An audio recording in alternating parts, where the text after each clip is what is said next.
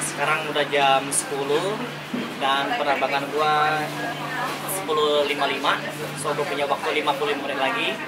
Jadi uh, gue akan jelasin kenapa gue lagi ada di sini.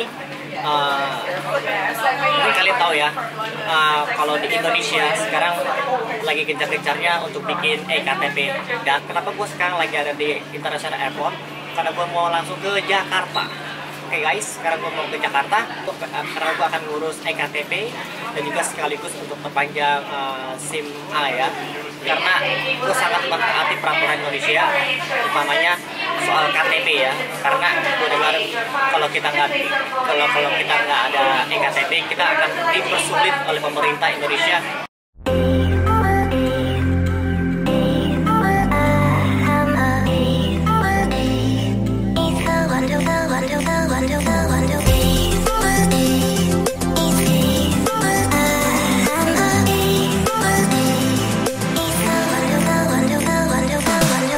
satunya adalah kalau gua pengen nabung di salah satu bank Indonesia atau gue pengen bikin akun baru di salah satu bank Indonesia itu akan susah banget kalau gue nggak ada ektp dan kalau gue pengen beli rumah gue nggak bisa juga karena gue nggak ada ektp so guys gue harus ke Jakarta Indonesia negara tercinta gue untuk bikin ektp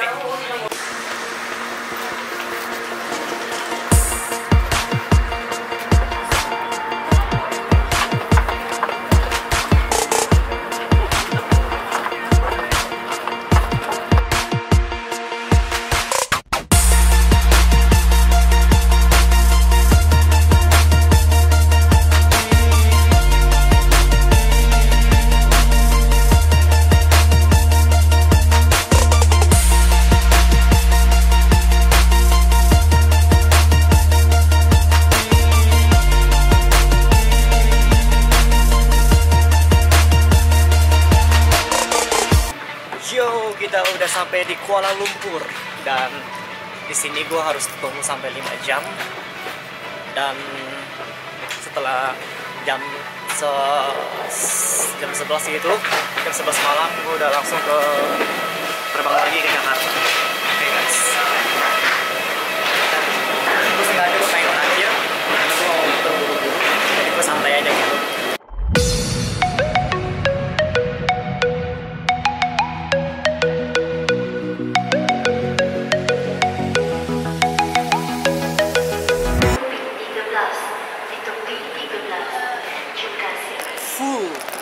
really really full.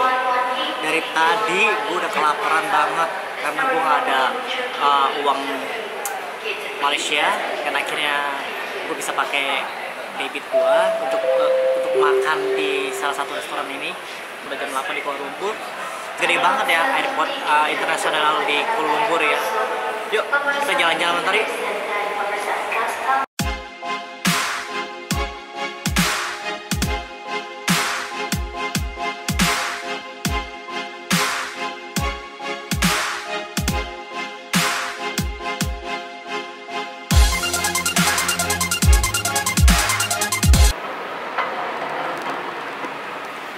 guys international airport yang ada di Kuala Lumpur itu gede banget.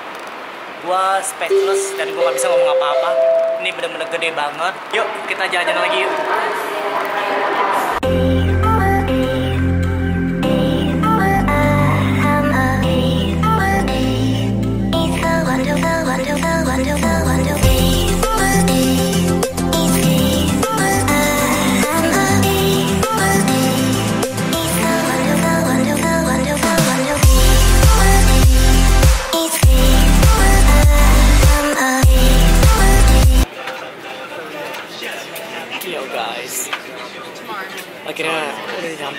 sini dan ngantuk banget, bener-bener ngantuk banget.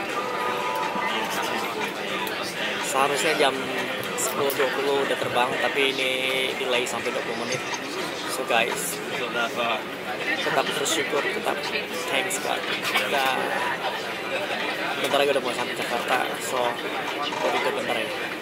Ngantuk banget dari jam 6 pagi di sini sampai jam 10.40 waktu di Malaysia.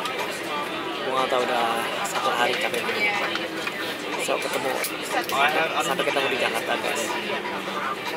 Bye